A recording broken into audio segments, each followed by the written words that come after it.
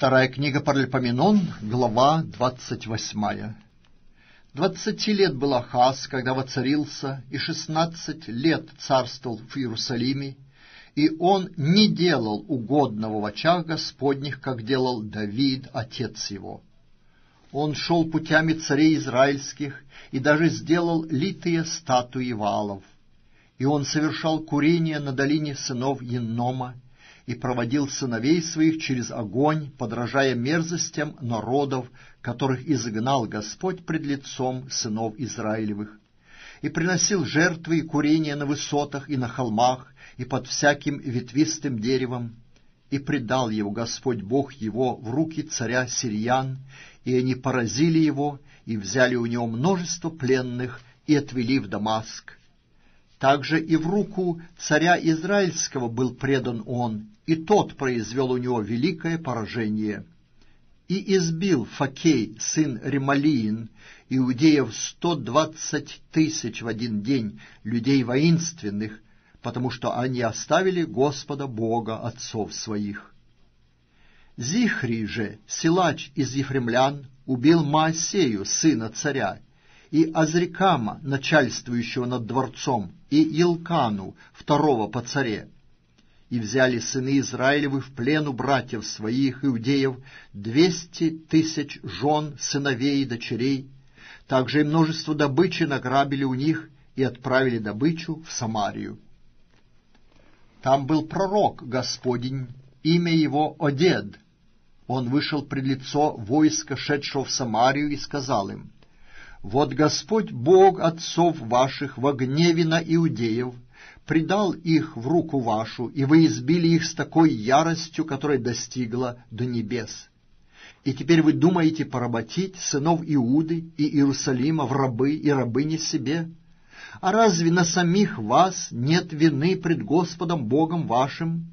Итак, послушайте меня, и возвратите пленных, которых вы захватили из братьев ваших, ибо пламень гнева Господня на вас» и встали некоторые из начальников сынов Ефремовых, Азария, сын Иегоханана, Берехия, сын Мешил-Лемофа, и Езекия, сын Шалума, и Амаса, сын Хадлая, против шедших с войны, и сказали им, «Не вводите сюда пленных, потому что грех был бы нам пред Господом.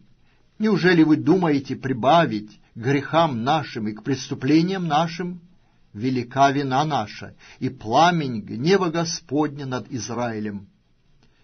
И оставили вооруженные пленных и добычу у военачальников и всего собрания. И встали мужи, упомянутые по именам, и взяли пленных, и всех ногих из них одели из добычи, и одели их, и обули их, и накормили их, и напоили их, и помазали их елеем, и посадили на ослов всех слабых из них, и отправили их в Иерихон, город Пальм, к братьям их, и возвратились в Самарию. В то время послал царь Ахаз к царям ассирийским, чтобы они помогли ему, ибо и думияне и еще приходили, и многих побили в Иудеи и взяли в плен. И филистимляне рассыпались по городам низменного края и юга Иудеи, и взяли Вевсамис и Аналон, и Гедеров, и Соху, и зависящие от него города, и Фимну, и зависящие от ней города, и Гимзо, и зависящие от него города, и поселились там. Так унизил Господь Иудею за Ахаза, царя иудейского, потому что он развратил Иудею и тяжко грешил пред Господом. И пришел к нему Феглафелласар, царь ассирийский, но был в тягость ему вместо того, чтобы помочь ему, потому что Ахаз взял сокровища из дома Господня и дома царского, и у князей, и отдал царю ассирийскому, но не в помощь себе. И в тесное для себя время он продолжал беззаконно поступать перед Господом, он, царь Ахаз и приносил он жертвы богам дамасским, думая, что они поражали его, и говорил, «Боги царей сирийских помогают им, принесу я жертву им, и они помогут мне». но они были нападение ему и всему Израилю.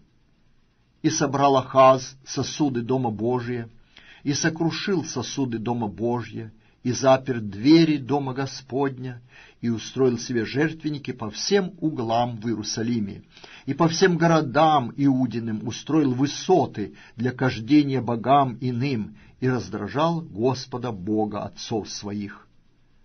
Прочие дела его и все поступки его, первые и последние, описаны в книге царей иудейских и израильских. И почил Ахаз с отцами своими, и похоронили его в городе в Иерусалиме, но не внесли его в гробницы царей Израилевых, и воцарился Езекия, сын его, вместо него.